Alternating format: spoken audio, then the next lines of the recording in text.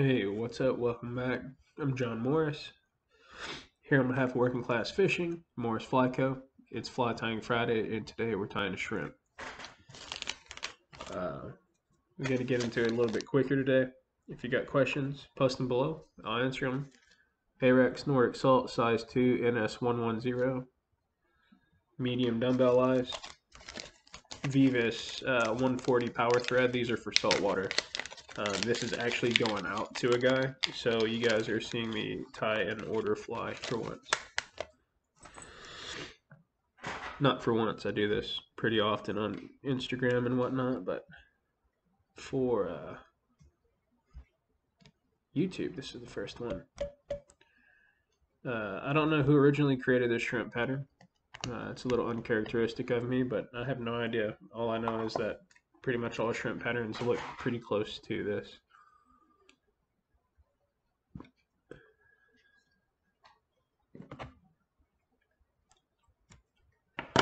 Alright, we're going to build this up a little bit.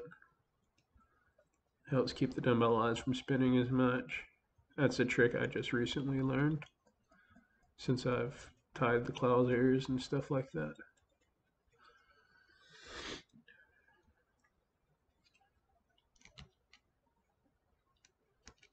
Alright, so shrimp flies you can do a couple of different ways on your dumbbell eyes. You don't have to do them right up here.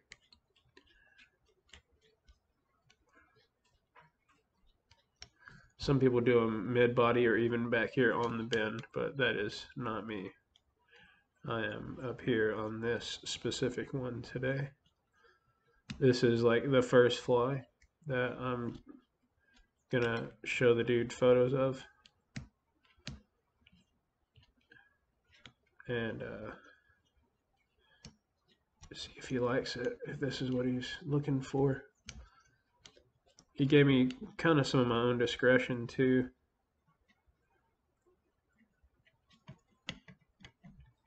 Oh, my hands are cramping. Pretty dehydrated. Alright, our dumbbell eyes are on. We're moving our thread back. Alright, we're going to take some pink, come back just a hair. Going to take some pink dubbing here. This is Franken dub. Kind of just finding the middle.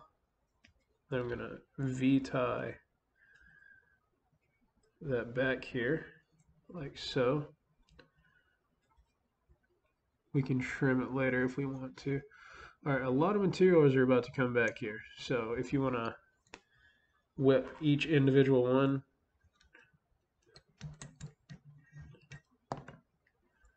which uh, I'm actually going to do. Like this is, this fly needs to be incredibly tough.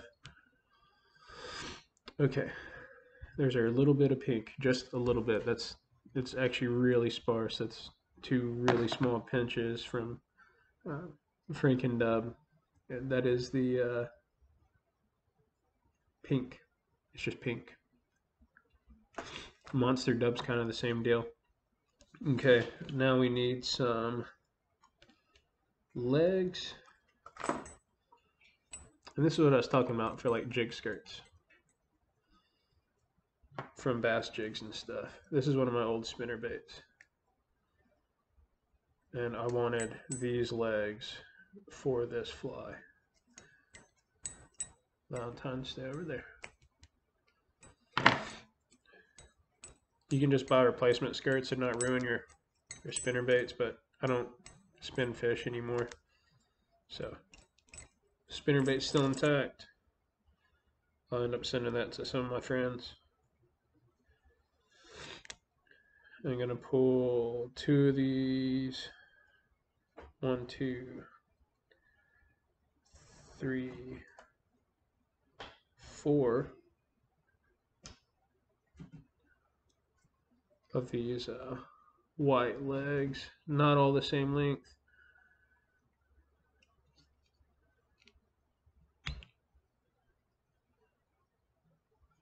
Them down. I need to loosen my thread up some. Oh, I see what happened now.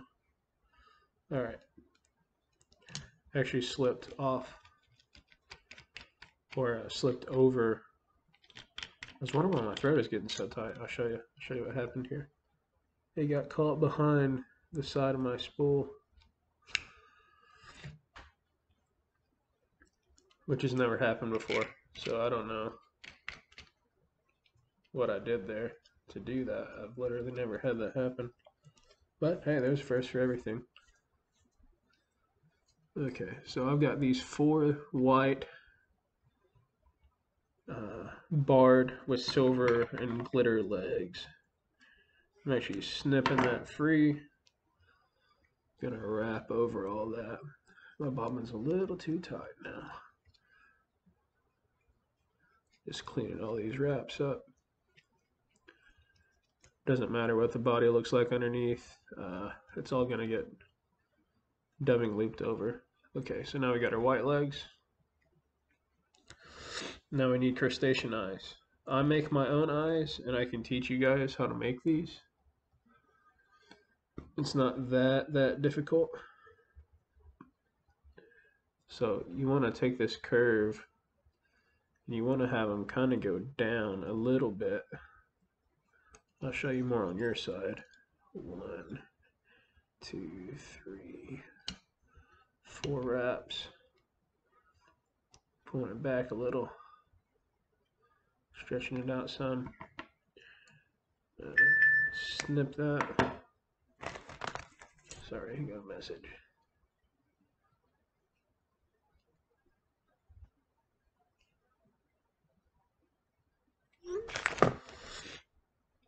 And then if the other one kind of in the same area, three turns, you know, fold it out some so it actually flares out. You want them to be down like this. See how they're facing down? That's what you want. So I'm pinching these down. I'm going to wrap back over this. And these can still pull out at this point. So I'm going to wrap these all the way down the shank.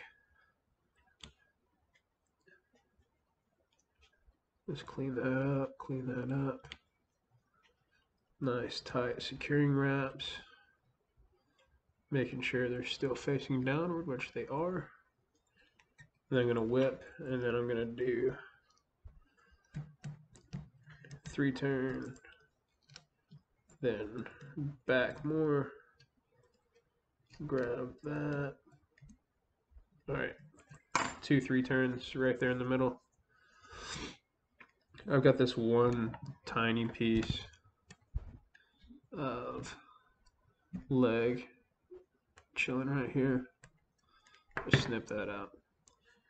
Now we need crystal flash. You can use flash blue, Flashabou, crystal flash.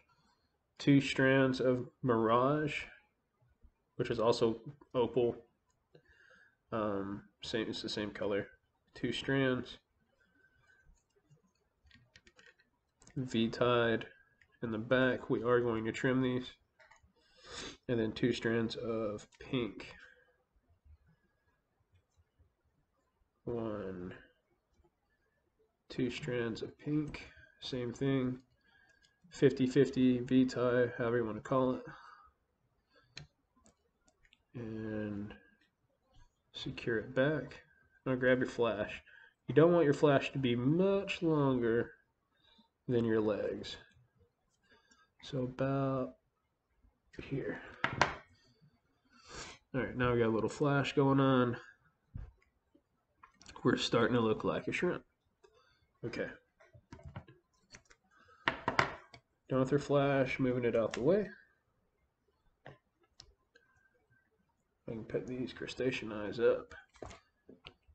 Maybe go to baggy form. I've got a few of these to tie afterwards. Okay. This is the only complicated part, and it's really not that complicated. We're making a dubbing loop.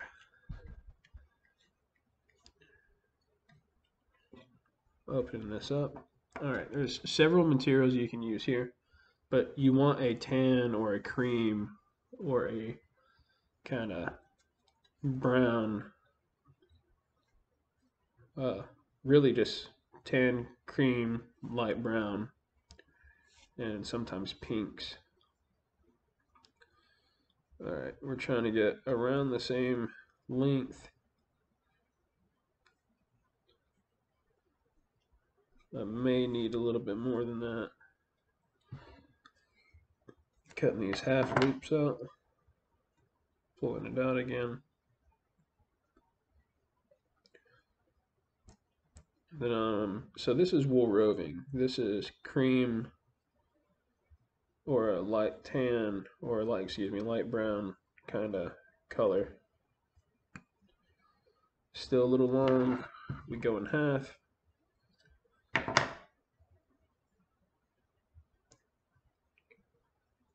We're stacked like this. You're to need a bodkin needle or some way to pull that out too. And then I'm taking a hair of Frankendub,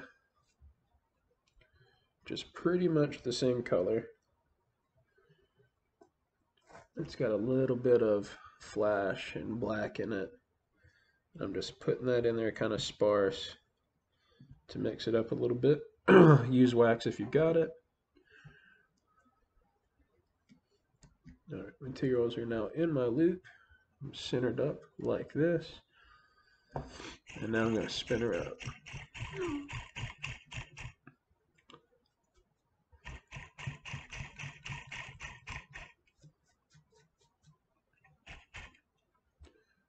Spun up. And now we pick all this out.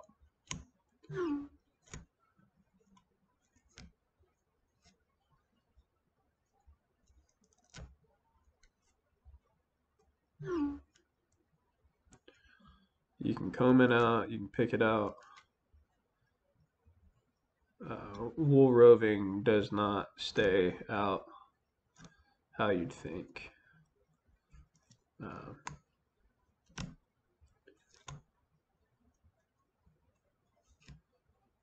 you can pick this out after you wrap it, before you wrap it. I want to pick it up some now.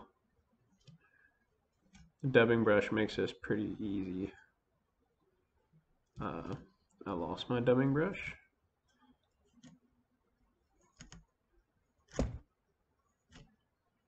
So I'm picking all this up. And I'm holding my loop because you can see it trying to spin on me right now. And I don't want it to spin out the materials.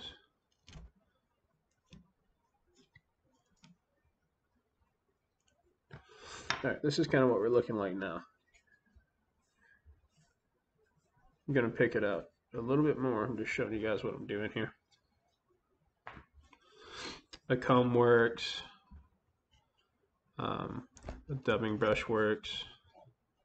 I'm just picking out really the thick spots where it bunched up a little more than it really should have, but pulling my bias off. I know this is what you guys came here to see, me picking out a bunch of material.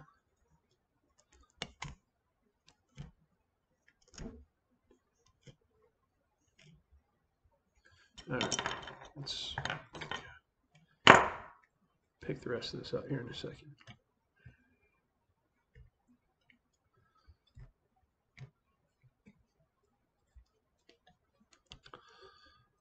coming up right behind the eye. Actually, I'll go behind my dumbbell eyes on the rest.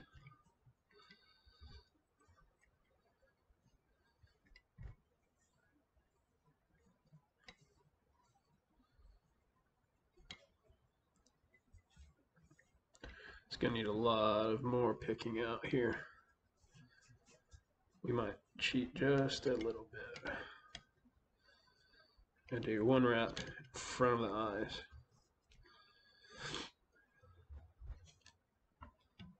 Rest is back.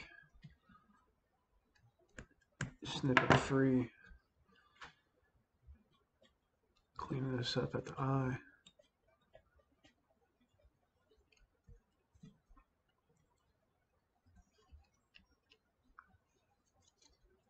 Backing these off. Okay.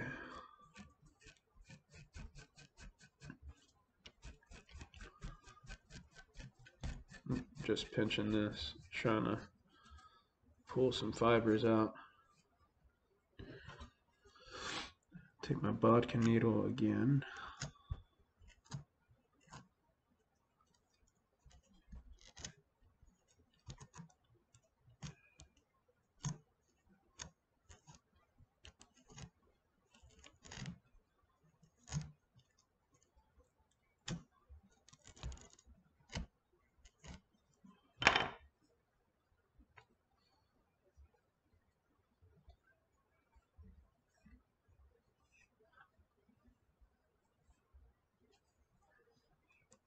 So you kind of want it a little bit more than that. So more picket. It's a little time consuming, but you want the right silhouette on a shrimp.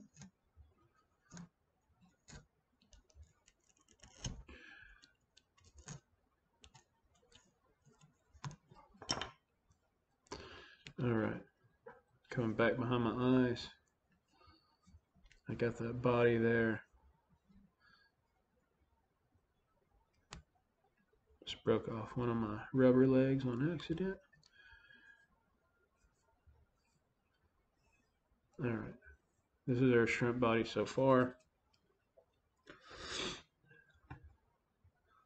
Gonna take some more wool roving, and this is where I was talking about. We're gonna cheat a little bit here.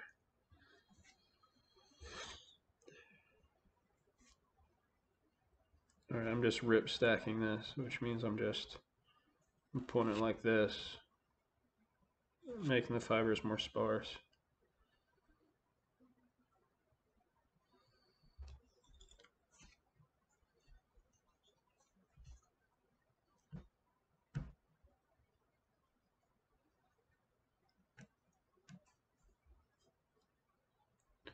Making another loop. Should have been done in one loop. Mm, hands.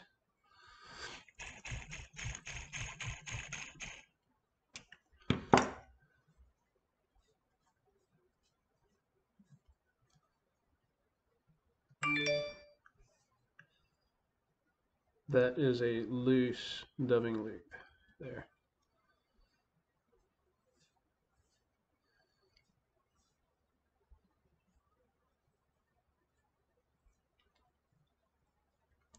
Pull it up behind these eyes again.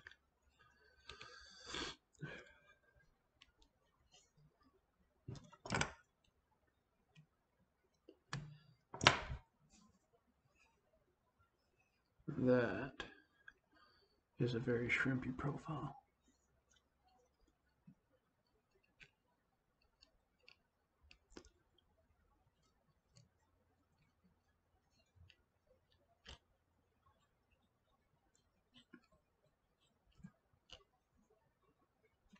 I don't like those fibers sitting over that eye. It's just wool, but I don't like it. So I'm trimming it out.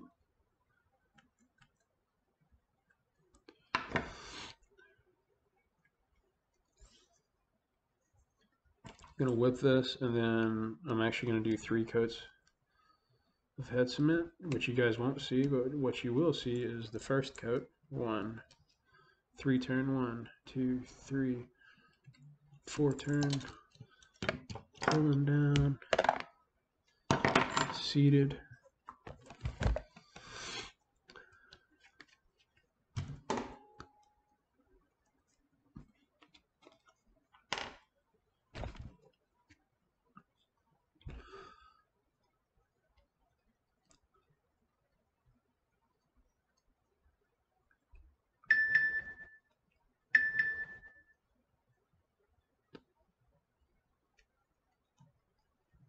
Getting all up under that.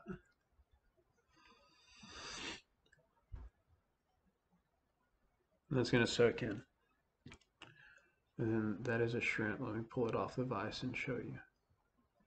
Um, not my normal, really in-depth, step-by-step. If you've got questions, leave them in the comments. Hit us up on Instagram at Working Class Fishing. Hit me up at Morris Fly Co on Instagram.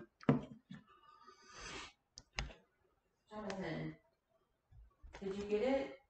No, I haven't. So it's just been sitting out there melting? And then here is your shrimp fly.